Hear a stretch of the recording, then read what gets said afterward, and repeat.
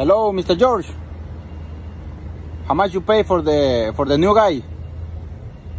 20 bucks? No, too much money. He's no good, no good operator. He's not he, he's not